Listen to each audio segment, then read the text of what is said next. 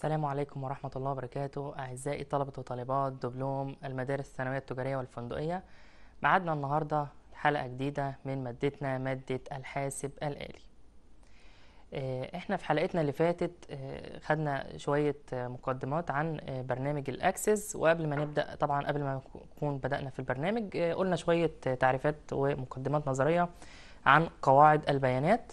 وبعد كده بدأنا في آه، البداية الفعلية لبرنامج الأكسس وهنستكمل بإذن الله النهاردة حلقتنا عن آه، هنبدأ فيها عن جزء العلاقات وبعد كده الاستعلامات وهنستكمل باقي البرنامج. تعالوا نشوف مع بعض على الجهاز هناخد إيه النهارده. آه، عندنا النهارده العلاقات relationships زي ما قلنا مفهوم العلاقات ما بين الجداول آه، عبارة عن إيه؟ إحنا آه، ببساطة كده جدا إحنا عندنا لما يكون عندنا قاعدة بيانات آه، كبيرة آه، زي ما قلنا آه، قاعدة بيانات وليكن لمؤسسة تعليمية أو مدرسة بنحتاج آه، ننظم عشان نعمل قاعدة بيانات آه، تكون كفاءتها عالية لازم ننظم ال- آه، الكلام ده عن طريق آه، تقسيم كل معلومات في حدة في صورة جداول. يعني إيه يعني وليكن أنا عندي آه، المدرسة فيها آه، هعمل جدول خاص بالمواد وجدول تاني خاص بالطلاب وجدول تالت خاص بالمعلمين. يبقى كل جدول مختص بالجزء اللي هيخصه. آه، ومن هنا هنبدأ ننشئ العلاقات ما بين الجداول وبينها وبين بعض عشان أقدر أطلع آه، البيانات عندي بسرعة وأقدر آه، أعمل أي تحليل جوه قاعدة البيانات بسهولة. يبقى مفهوم العلاقات بين الجداول آه، عندما يتم تقسيم آه، جميع البيانات زي ما قلنا آه، ذات صلة في جدول منفصل فهيكون لدينا عدة جداول بتكون بينها وبين بعضها صلة رابطة من حيث الموضوع. يعني كل حاجة أكيد في حاجة هتربطها في الجدول اللي جنبه. المقصود بربط البيانات هو إنشاء علاقة ارتباط بين جدولين أو أكثر بيكون من نتيجتها استخراج بيانات من كلا الجدولين وإظهارها في النماذج أو التقارير أو الاستعلامات. يعني هنستخدم هنستفيد بعملية ربط البيانات ربط الجداول بينها وبين بعض. في أقدر إن أنا أقدر أستخرج أي بيانات من أي جدول موجود وأستخدمها وأظهرها في النماذج أو التقارير أو الاستعلامات زي ما هنعرف بعد كده. وبيتم الربط آه، في الغالب بحقل مفتاح الأساسي اسمه primary key في الجدول الأول ويربطه مع حقل آخر في الجدول الثاني بيسمى مفتاح أجنبي ال foreign key كما في العلاقة 1 to many أو على حسب نوع العلاقة اللي هنشوفها مع بعض. والمثال اللي إحنا قلناه من شوية زي قاعدة البيانات اللي موجودة آه، في المدرسة أنا عايز أعمل آه، جدول آه، قاعدة بيانات يبقى طبيعي هعمل عملية تنظيمية في ال- القاعدة. يبقى هعمل جداول منفصلة وليكن زي ما أنا قلت هعمل جدول خاص بالمواد وجدول خاص بالمعلمين وجدول خاص بالطلاب. يبقى كل جدول خاص ببياناته هو فقط عشان أقدر أقدر أحصل منه على أي معلومة أنا محتاجها ببساطة. آه، من هنا آه، أقدر آه، طبعا أنظم العملية دي عن طريق برنامج ال Access. وزي ما قلنا إن الجداول دي في صلة صلة رابط ما بين كل جدول والتاني بيربط الجدول عن طريقه بعمل عملية ال- العلاقة أو ال relation طيب يبقى زي ما قلنا إن الجداول دي إذا نظرنا إليها نجد أن هناك صلة ما بين المعلم والطالب وهناك صلة بين المواد والمعلمين. ومن هنا بتنشأ العلاقة ما بين الجداول بعضها البعض. نشوف على الجهاز المثال التوضيحي لقاعدة بيانات للمدرسة. قدامي الشكل التوضيحي ده آه، المدرسين. آه، قدامه آه، بيانات تخص المدرسين زي اسم المدرس رقم المدرس اسم المادة اللي بيديها. وعندي جدول تاني خاص بالمواد بيشمل اسم المادة ورقم المادة وعدد الحصص بيانات خاصة بالمواد فقط. أما الطلاب بيبقى بيانات خاصة بالطلاب فقط زي اسم الطالب رقم الطالب والصف اللي فيه الطالب وبياناته رقم الهاتف. يبقى العملية دي بتربطها بينها وبين بعض ببساطة كل جدول في صلة رابط في الجدول التاني زي ما هنعرف كمان نطبق الكلام ده بإذن الله في العملي. قدامنا بقى زي ما قلنا إن الهدف من ربط الجداول أول حاجة بمنع تكرار البيانات. طبيعي إن الجدول الواحد مش هيسمح بتكرار آه، أكتر من جدول آه، عشان إن أنا أقدر زي وليكن مثلا أنا دخلت بيانات معلم هاجي أدخل بنفس البيانات تاني متكررة مش هيقبل معايا البيانات لأن هي بيانات مكررة. يبقى من هنا الهدف إن أنا بزيد كفاءة قاعدة البيانات عندي وبقدر آه، كمان ما أزودش من مساحة تخزين الضايع عندي جوه القاعدة. يبقى زي ما قلنا بمعنى أنه عند إدخال معلومات معلم في جدول اندرسون يمنع تكرار هذه البيانات في جدول آخر أو معلم آخر. طيب زي ما قلنا طبيعي هتربط ما بين الجزء ده إن أنا عملت ان, إن أنا هتلافى عندي كبر حجم قاعدة البيانات وبالتالي مساحة قاعدة البيانات عندي مش هتبقى كبيرة.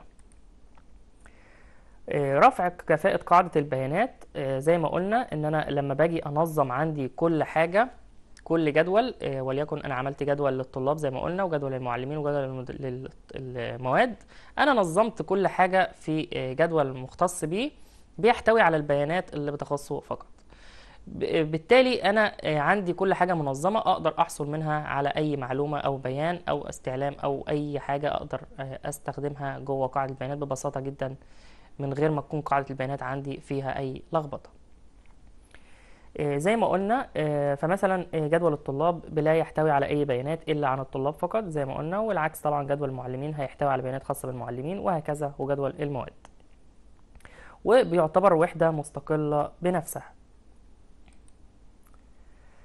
آه، من ضمن برضو المميزات ربط قاعدة البيانات آه، الحد من حدوث أخطاء الإدخال اللي ممكن تبقى موجودة معايا وأنا شغال على قاعدة البيانات وسرعة وسهولة البحث عن أي بيان. زي ما قلت طالما أنا منظم البيانات عندي جوه قاعدة البيانات أقدر أبحث أو أستعلم عن أي بيان عندي ببساطة. واستعرضنا آه، سريعا قلنا إن في أنواع آه، العلاقات ما بين الجداول بتتكون من عدة أنواع. زي العلاقة 1 to 1 واحد إلى واحد أو رأس برأس ليها أكتر من مسمى. أو العلاقة واحد إلى متعدد رأس بأطراف 1 to many. والعلاقة الثالثة اللي هي علاقة متعدد إلى متعدد أطراف بأطراف many to many. دي أنواع العلاقات وبتيجي كتير جدا في الامتحان. آه، هن- هنمسكهم مع بعض آه، علاقة علاقة نعرف آه، كل حاجة بتخص إيه. اولا العلاقة رأس برأس 1 to 1 وهي علاقة ليست شائعة. نركز في كل حاجة موجودة لأن النقط دي بتيجي في صح وغلط كتير في الامتحان. آه، وبيقول لي بعد كده إن العلاقة 1 to 1 دي بتنشأ في حالة الرغبة في تقسيم الجداول التي تحتوي على عدد كبير من الحقول. لو أنا عندي جداول آه، فيها آه، حقول كتيرة ببدأ هنا أستخدمها.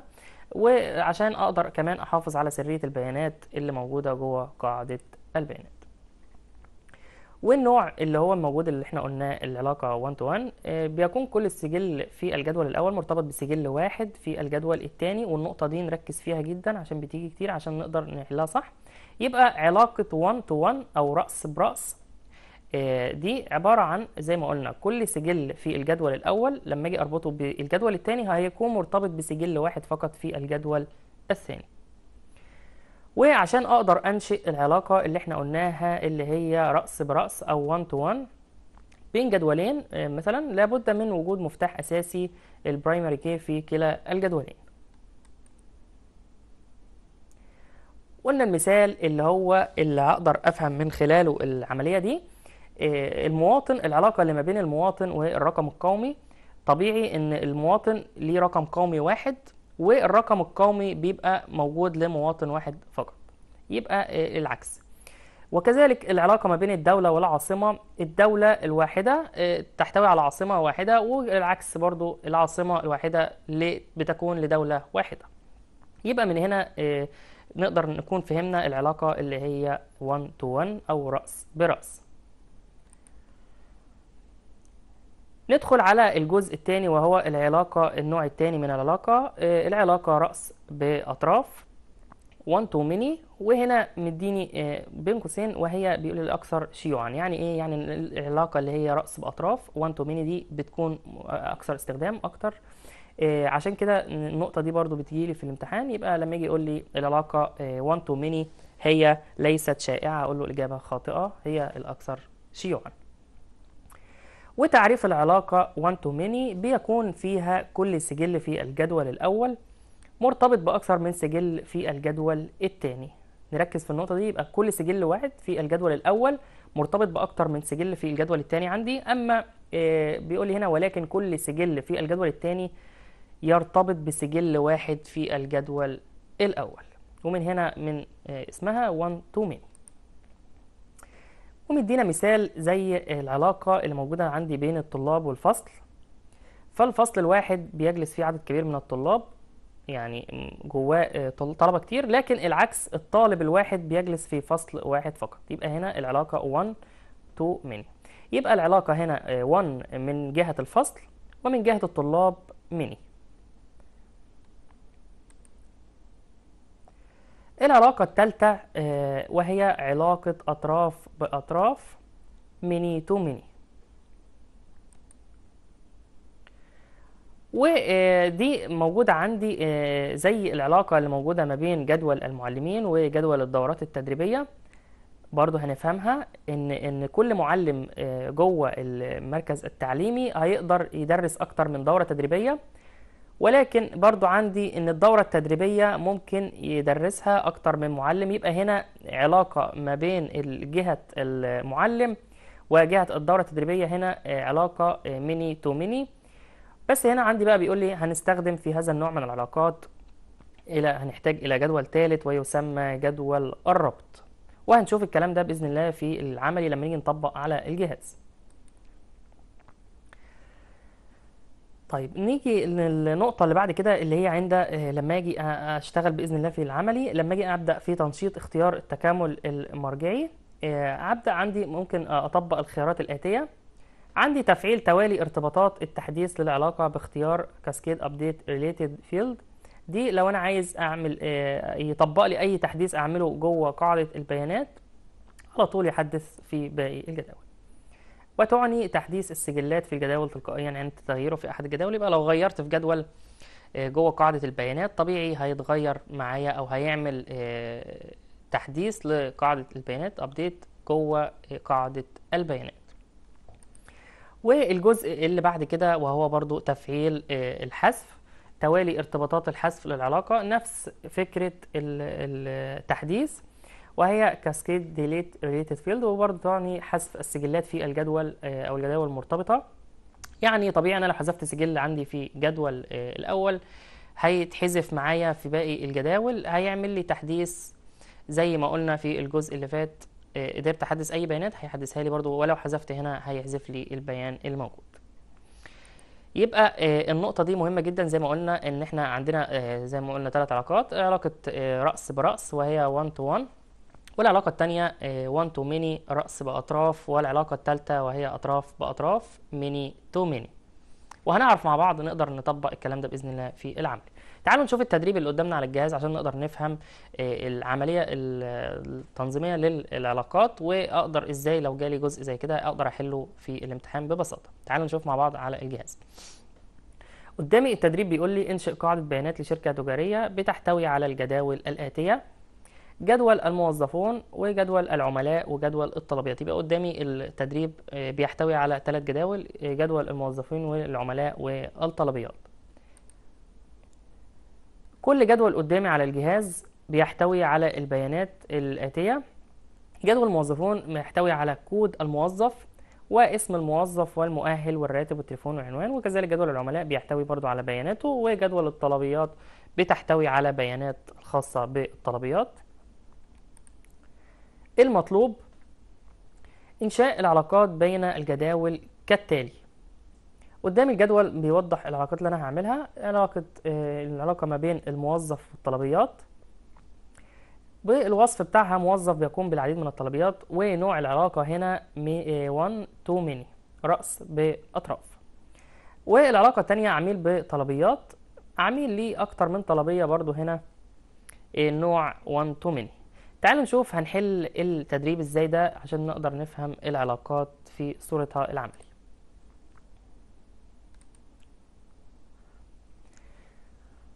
قدامي قاعدة البيانات اللي أنا كنت عاملها قبل كده في الحلقة اللي فاتت. عندي هفتح الجداول اللي إحنا أنشأناها أهي الطلبيات والعملاء والموظفون. قدامي كل جدول بيحتوي على السجلات الآتية قدامي أهو وعندي كود الموظف عامله مفتاح أساسي وعند العملاء وأهو. الكود العميل معمول مفتاح أساسي. والطلبيات عندي الجدول اللي قدامي عامله برضو كود الطلبية عامله primary key ثلاث جداول اللي قدام حضراتكم شايفينهم. هقدر أعملهم أعمل أنفذ ما بينهم العلاقات اللي قايل لي عليها. هختار من تبويب database tools أدوات قاعدة البيانات وأختار منها relationships العلاقات وأختار منها برضو الأداة relationships وهيظهر لي هنا. هضغط click يمين وأقول له show tables وأختار منها دي الجداول الموجودة عندي. بضغط عليها double click شمال. ضغطتين ورا بعض. بيفتح معي الجدول وهقفلها. قدامي الثلاث جداول ببياناتهم أهو. الحقول. هخلي جدول الطلبيات بينهم. وبعد كده هاجي أسحب كود الموظف عند كود الموظف. قدامي أهو. هعمل هفعل خاصية التكامل المرجعي. لو ضغطت عليها check هتفعل لي باقي ال... هتظهر معايا باقي الجزء. ده قلنا إن ال... دي عشان يحدث لي أي بيانات اغيرها تلقائيا. واللي بعديها يحذف لي أي بيانات برضو أنا حذفتها من باقي الجداول. بيقول لي هنا relationship type نوع العلاقة 1 to many زي ما قلنا شفناها. طيب الرسالة ظهرت لي هنا لما جيت أنشئ قال لي في خطأ. ليه؟ لأن الجداول اللي عندي مفتوحة لازم أتأكد إن أنا أقفل الجداول أهو click يمين وأقول له close قفلت الجداول المفتوحة وبعد كده هعمل تاني نفس اللي عملته. وهنجرب أهو. هنشط الاختيارات اللي إحنا قلناهم نظري. وادوس create أهو جايب لي هنا 1 to many وبرضو عنده كود العميل هسحب عند كود العميل وهفعل التكامل المرجعي والتحديث التلقائي والحذف التلقائي. وأقول له create وبرضو هنا جايب لي نوع العلاقة. one to many زي ما حضراتكم شايفين. one to many يبقى كده قدرنا نعمل العلاقات ونربط ما بين الجداول وبعضها البعض تعالوا نفتح الجداول تاني أهو. لو ضغطت هلاقي علامة زائد أهو. يبقى ربط لي الجدول ده بالجدول التاني وكل بيان بالبيان اللي يخصه. لأن أنا عامل ربط ما بينهم. يبقى هنا يأتي دور العلاقات ونكون فهمنا العلاقات دي أهميتها إيه أهو. كل حاجة أو كل بيان جواه البيانات اللي تخصه عشان أنا ربطتهم ببعض. طيب لو جيت عملت أي تعديل تعالوا نصغر الجزء اللي إحنا عملناه. وليكن قدامي هنا رقم عملته اتنين كود الموظف. طيب اتنين متكرر فوق فبيقول لي هنا مش هينفع لأن مش هيسمح عندي بالتكرار البيانات. يبقى هقول له okay هيغير الرقم هيبقى رقم تاني مختلف عن اللي قبله مش متكرر. لو جيت أكتب البيان اللي بعده؟ وليكن عندي السجل ده ضغطت عليه كليك يمين وقلت له delete record حذفته. وهقول له yes تأكيد.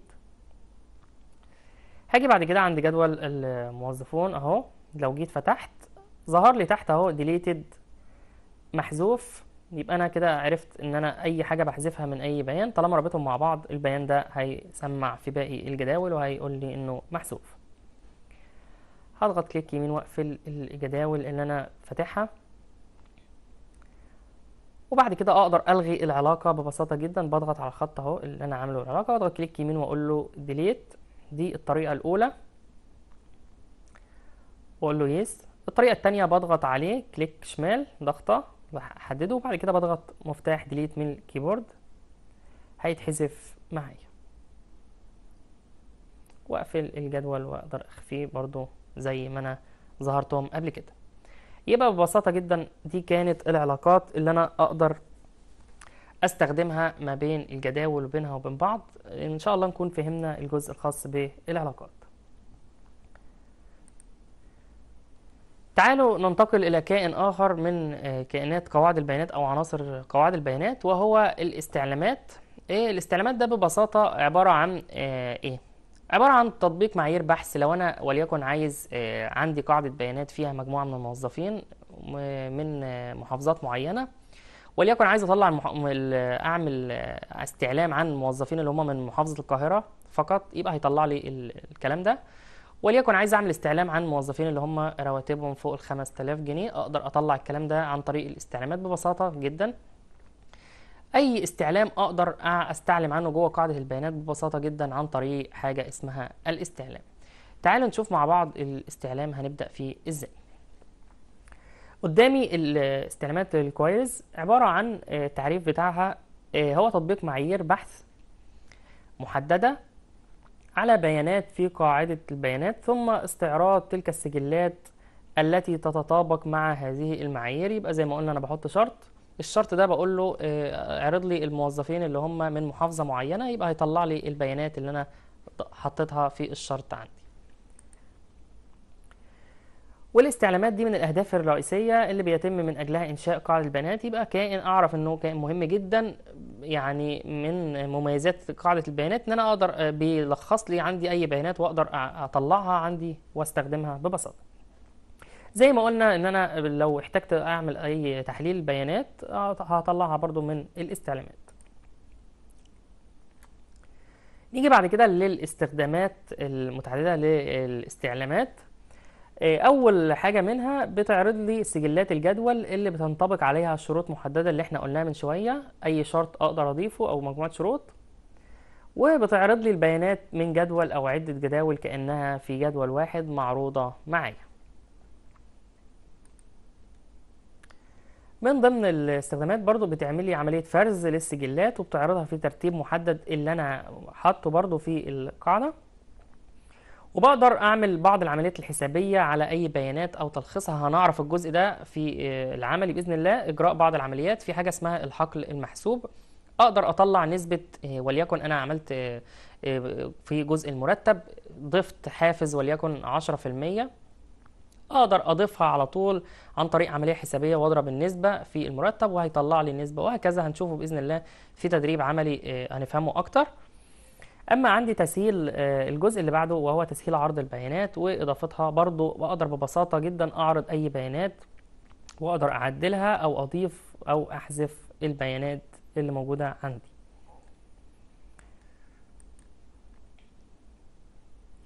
طيب نيجي لنقطة مهمة جدا عندي وهي أنواع الاستعلامات وبتيجي برضو كتير في الامتحان. أول نوع من الاستعلامات اسمه استعلام التحديد Select Query. وده عندي آه، الاستعلام ده هو الاستعلام الأكثر شيوعا وبيستخدم لعرض البيانات من جدول أو أكتر لتحليلها أو تحديثها أو إجراء حسابات باستخدام معايير محددة. يبقى الاستعلام التحديد موجود عندي بيستخدم وهو أكثر شيوعا.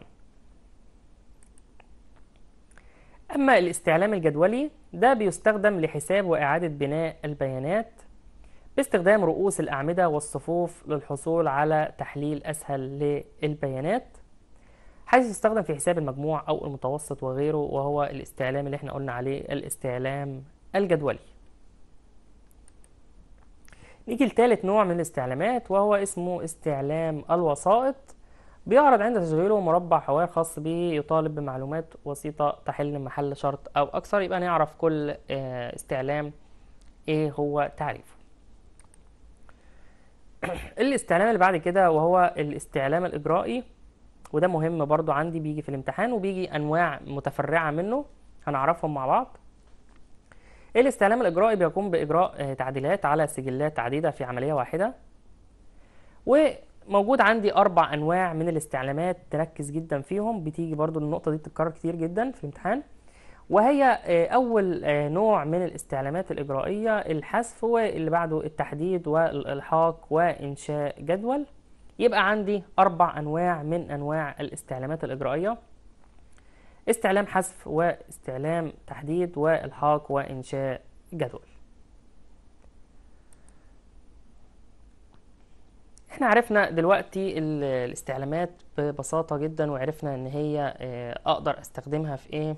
زي ما قلنا لو أنا عايز أعمل آه، أطبق معايير بحث أو شروط معينة حطيتها جوه قاعدة البيانات في جدول وبقول له استعرض لي البيانات اللي هتتطابق مع الشروط اللي أنا وضعتها وطلع لي الناتج في صورته النهائية طيب قبل بقى أبدأ في آه، آه، استخدام أو تنفيذ الاستعلام لازم مجموعة عندي من الشروط قبل ما أبدأ في استخدامها. تعالوا نشوف مع بعض إيه هي المجموعة اللي أنا هحطها قبل ما أبدأ في عملية الاستعلام. قبل البدء في إنشاء استعلام يجب التخطيط الجيد له. يبقى لازم أكون زي ما قلنا في قاعدة البيانات من الأول خالص في أول حلقة إن إحنا قبل ما أحط قبل ما أنشئ قاعدة البيانات لازم أكون مخطط كويس جدا لقاعدة البيانات وقبل ما أبدأ تنفيذها عملي. برضه نفس الكلام في الاستعلام لازم أكون مخطط كويس جدا لقاعدة البيانات لل... للاستعلام اللي أنا هشتغل عليه. والنقطة دي برضو بتكرر كتير في الامتحان نركز فيها كويس جدا ونقدر نفهمها إن شاء الله. أول حاجة طبيعي قبل ما انشئ آه، استعلام لازم أعرف نوع الاستعلام اللي أنا هستخدمه. يبقى تحديد نوع الاستعلام. بعد كده هحدد الجداول والاستعلامات المستخدمة في الإنشاء. هبدأ أحددها وبعد ما حددت الجداول والاستعلامات هبدأ في تحديد الحقول اللي أنا هشتغل عليها في الاستعلام. وبعد كده بحدد الحقول اللي مش هستخدمها برضو في الناتج مش عايزها تظهر في الناتج عندي. بعد كده ببدأ أحدد نوع الفرز آه، هل هو تصاعدي تنازلي وغيره وعلى أي الحقول يطبق. وببدأ أطبق الشروط دي وأحددها آه، أحدد الشروط اللي بتطبق على الحقول وأعرضها وأشوف هنشوف كل نقطة بإذن الله آه، إزاي بتطبق عندي وأنا ب- بستخدم الجزء ده في العملي تعالوا نشوف مع بعض طرق إنشاء الاستعلام. أنا عايز أنشئ استعلام أبدأ في أول خطوة منه. أول طريقة إنشاء استعلام باستخدام معالج الاستعلامات البسيط. Query Wizard. تعالوا نشوف تدريب عليه. التدريب بيقول لي إنشئ قاعدة بيانات باسم الشركة المتحدة ثم صمم جدول باسم الموظفون ثم ادخل البيانات التالية. وقدامي الجدول بيحتوي على البيانات كود الموظف واسم الموظف والمؤهل والمرتب. المطلوب انشئ استعلام بسيط باستخدام معالج الاستعلامات استنادا لجدول الموظفين.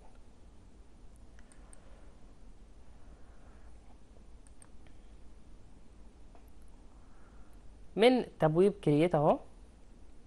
أنا عملت جدول قدامي وهعمل بقى الاستعلام من create واخترت من المجموعة queries هختار منها query wizard وهقول له okay وبعد كده هبدأ أختار أهو أتأكد إن أنا آه، هست- هعمل استعلام من جدول الموظفون.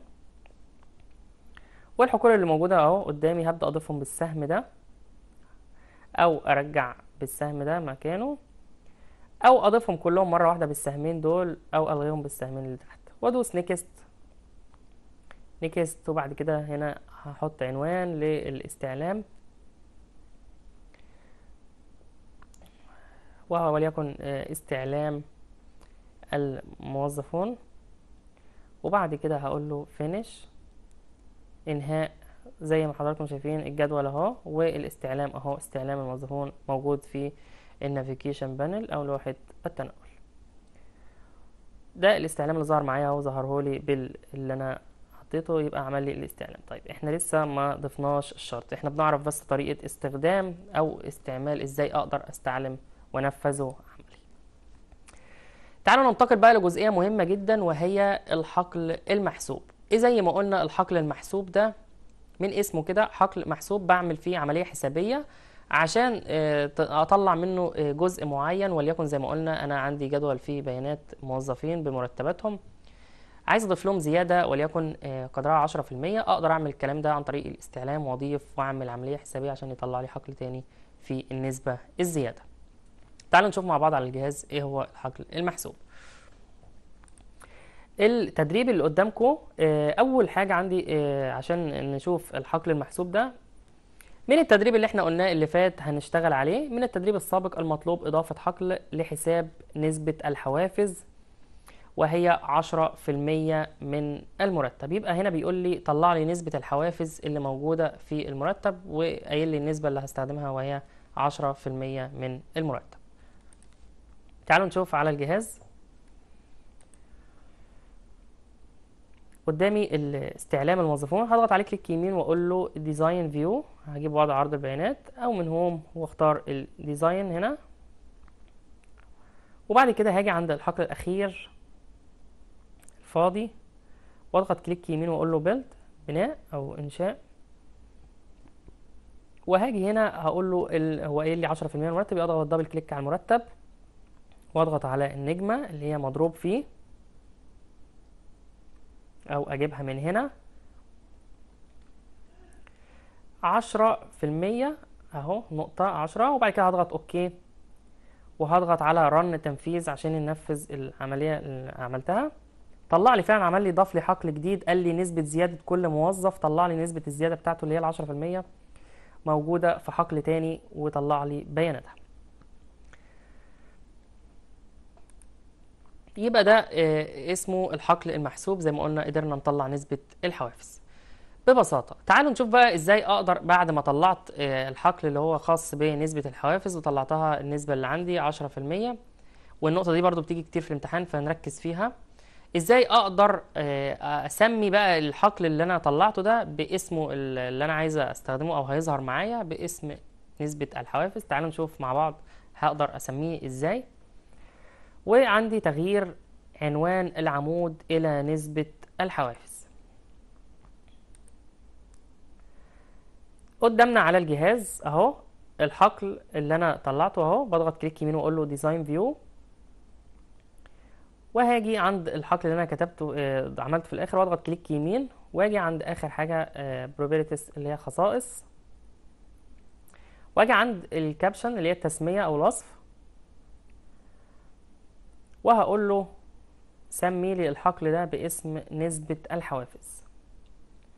وهضغط على run عشان ينفذ معايا اللي طبقته. طلع لي فعلا الحقل أهو باسم نسبة الحوافز.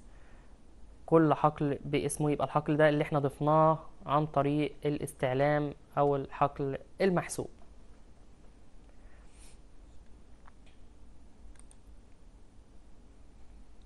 تعالوا نشوف تدريب تاني برضو عندي آه، من التدريب السابق المطلوب إضافة حقل باسم الإجمالي لحساب إجمالي المرتب والحوافز. يبقى إحنا عملنا حقل آه، عندي كان عندي آه، قاعدة البيانات فيها الجدول في البيانات بتاع الموظفين والمرتبات بتاعتهم وطلعت نسبة الحوافز اللي هي كل موظف هيزيد قد إيه. عايز بقى أجمع أطلع أعمل حقل إضافي عشان أجمع فيه المرتب زائد الحوافز اللي أنا طلعتها من التدريب اللي فات. واجمعهم مع بعض واطلع الإجمالي؟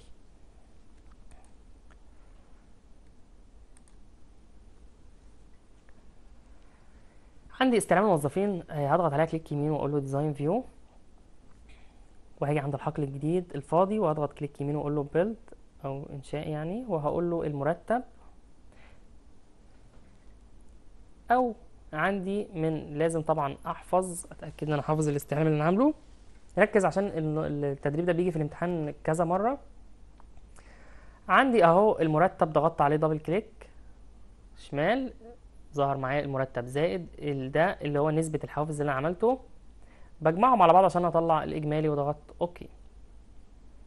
وهقول له run طلع لي فعلا جمع لي آه، المرتب زائد نسبة الحوافز طلع لي الإجمالي لكل موظف. طيب آه، إذا عايز أشيل قلنا الصفار الموجودة دي أقدر أشيلها برضو آه، ولو جبت design view وأقدر أعدل في ال decimal place اللي هي ال- الكسور العشرية وأقول له صفر. واضغط على run شال لي فعلا ال- الصفار الزيادة اللي موجودة عندي وخلاها لي ببياناتها الطبيعية. عايز أظهر بقى اسم الحقل هنا click يمين و design view من على الاستعلام اللي أنا عامله. وبرضو من caption تسمية بنفس الطريقة اللي قلناها المرة اللي فاتت في نسبة الحوافز. هقول له برضو هسميه باسم الإجمالي. وهضغط على رن فعلا سمالي الحقل باسم الإجمالي. يبقى أنا طلعت عندي من المرتب قدرت أحسب نسبة الحوافز اللي هو كان قايل لي عليها في التدريب وقال لي نسبة عشرة في المية طلع لي الحوافز بتاعتها. وبعد كده قال لي آه، سمي لي الحقل باسم من فوق نسبة الحوافز. وبعد كده طلعت قدرت أجمع نسبة الحوافز على المرتب اللي موجود وطلع لي الحقل اللي هو اسمه الإجمالي. تعالوا نشوف مع بعض الجزء اللي بعد كده في حلقتنا النهارده. إزاي بيتم إضافة شروط للاستعلام؟ أنا عندي زي ما قلنا آه، من ضمن الاستعلام إحنا عملنا خلاص الحقل المحسوب. عايز بقى أضيف شروط للاستعلام عشان أعرف آه، أطبق آه، اللي أنا الشروط اللي أنا هحطها دي عشان تظهر لي في الاستعلام معايا. طيب بستخدمها في إيه؟ وليكن أنا عندي بيانات موظفين كتير جدا عايز أقلل أو أعمل تصفية للبيانات آه، عشان تقدر تظهر معايا وأقدر أستخلص منها البيانات اللي أنا محتاجها. نشوف مع بعض هنطبق الجزء ده إزاي. من التدريب السابق المطلوب استعلام أو تصميم استعلام بيعرض الموظفين خريجي كلية تجارة. يبقى حط لي الشرط هنا اللي هو من موظفين كلية تجارة. قدامي قاعدة البيانات اللي موجودة فيها أكتر من مؤهل أهو. عايز أعملهم بس أحط الشرط اللي هم من كلية تجارة هضغط click يمين أقول له design view وهاجي عند ال criteria دي مهمة جدا. ال criteria دي اللي هي المعيار أو الشرط. هاجي عند المؤهل قدام criteria وهقول له علامة يساوي تجارة وهتأكد إن أنا كاتب الحروف صح. وهضغط على run عشان ينفذ. فعلا طلع لي إن هم مؤهلاتهم كلية تجارة فقط. بتفيدني طبعا لو عندي جداول كبيرة جدا وبيانات كبيرة جدا في قاعدة البيانات. عندي أكتر من مجموعة موظفين كتيرة يبقى طبعا أحتاج أعمل لهم تصفية. تعالوا نشوف مع بعض برضو الجزء الثاني اللي هو إنشاء استعلام بطريقة التصميم. تاني طريقة وهي استعلام ال query design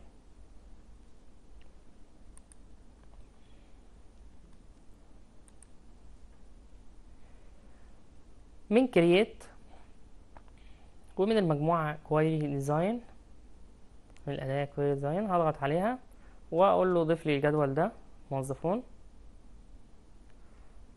وبعد كده أقدر أضغط عليهم double click هيظهروا لي معايا تحت. واجي قدام ال criteria عند آه كود آه عند اسم الموظف أهو أو المرتب تحت الجزء اللي أنا عايز أعمل عليه استعلام. يبقى criteria تحت المرتب وأقول له يساوي 4000 يبقى عرض لي الموظفين اللي هم مرتباتهم بتساوي 4000 طلع لي الموظف اهو باسم ايمن إبراهيم وطلع لي البيانات بتاعته.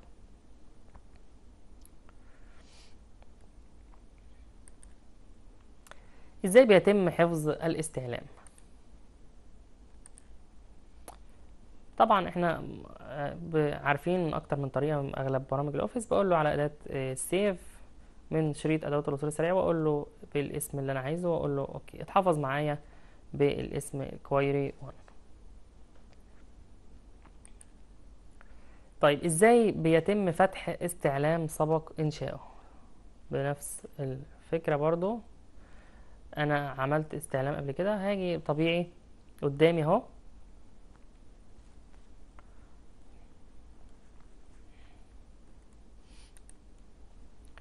باجي من لوحة التنقل ال navigation panel أهو.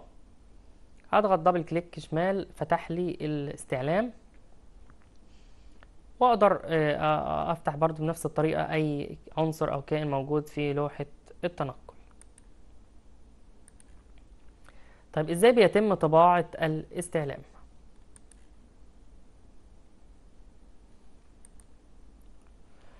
قدامي الاستعلام أهو استعلام الموظفين هفتحه ضغطت عليه ضغطتين شمال. بعد كده من file واقول له print وهختار منه print هيظهر لي لوحة الخصائص أقدر أعدل منها عدد النسخ والبيانات وغيره وأضغط على OK هيطبع لي منه النسخ. أو من ال keyboard هضغط control وحرف ال P هيفتح لي برضو نفس لوحة الشريط.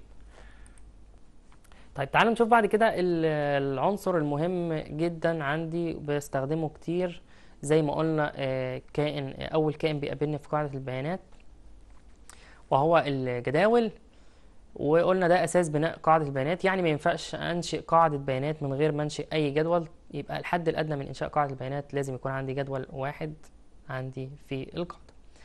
بعد ما خدنا قلنا الجداول قلنا بعد كده إن في حاجة اسمها الاستعلامات.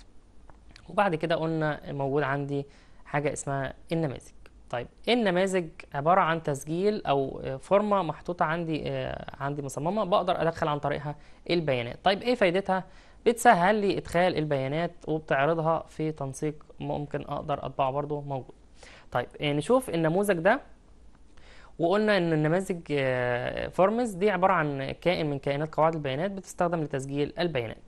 يبقى عبارة عن أحد كائنات قواعد البيانات اللي بتستخدم لإدخال البيانات أو عرضها في قاعدة البيانات.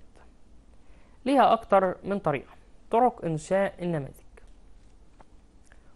أول آه، طريقة أو أول آه، حاجة أقدر أنشئ منها النموذج إنشاء نموذج تلقائي أو إنشاء النماذج باستخدام المعالج أو إنشاء نموذج منقسم أو إنشاء النماذج باستخدام طريقة عرض التصميم وهنعرف كل نوع إزاي بقدر أعمله وأطبقه على الجهاز. أولا إنشاء نموذج تلقائي. من اسمه تلقائي يبقى طبيعي هيبقى أسهل نوع وأسهل طريقة أقدر أصمم بيها النموذج. تعتبر من أسهل وأسرع طرق إنشاء النماذج. تعالوا نشوف تدريب عشان أقدر أطبق منه النوع ده. انشئ قاعدة بيانات ثم قم بتصميم جدول يحتوي على أربع حقول لإدخال بيانات الموظف. ثم قم بإنشاء نموذج تلقائي يستند للجدول الذي قمت بإنشائه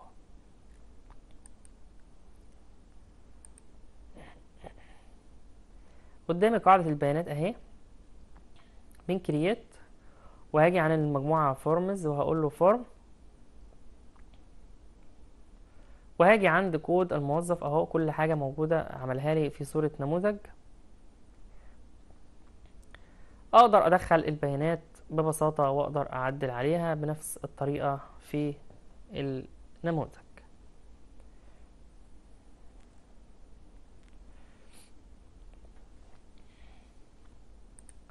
طيب تاني طريقة وهي إنشاء النماذج باستخدام المعالج والطريقة دي بي بيعمل معايا كأنه بينشئ معايا حوار الجهاز بيقول لي بيسألني أسئلة. طبقا للأسئلة دي هينشئ النموذج. طيب نشوفه على صورة تدريب سريعا وبيقول لي انشئ قاعدة بيانات ثم صمم جدول يحتوي على الحقول الآتية كود الموظف ثم اسم الموظف والمؤهل والمرتب. وبعد كده بيقول لي انشئ نموذج باستخدام المعالج لإدخال البيانات. بس بإذن الله حلقتنا خلصت. هنستكمل حل إيه التدريب الخاص بالجزء اللي فيه النماذج في حلقتنا القادمة. نترككم في رعاية الله وأمنه. والسلام عليكم ورحمة الله وبركاته.